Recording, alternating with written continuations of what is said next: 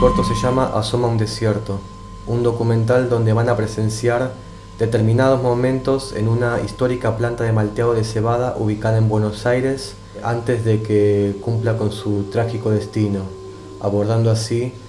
una situación que le ha tocado atravesar a más de un espacio industrial como consecuencia de la coyuntura económica nacional.